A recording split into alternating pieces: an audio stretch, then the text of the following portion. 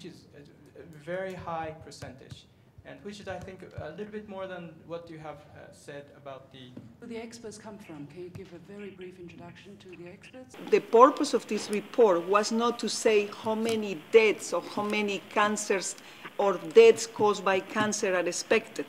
The purpose of this report was saying, looking at the exposure and the doses to which people has been exposed, what is the risk that we can expect as an increase over the baseline one or the so-called natural one. And I think this is more human than trying to predict how many people will die from cancer.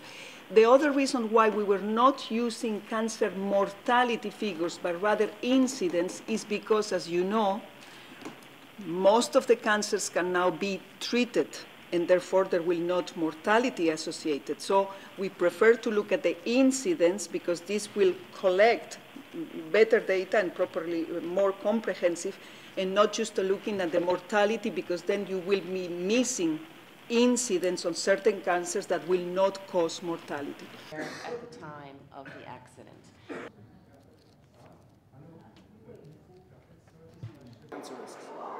What the report shows that for the most part of uh, Japan, there is no increased cancer risk expected as a consequence of the Fukushima accident.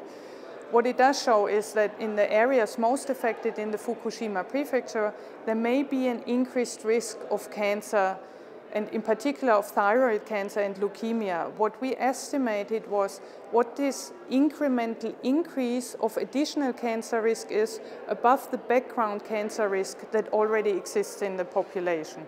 And so this report provides some level of reassurance to big parts of the population in Japan and it helps really focus on the areas and the population of biggest concern and it helps to target monitoring and public health actions and interventions.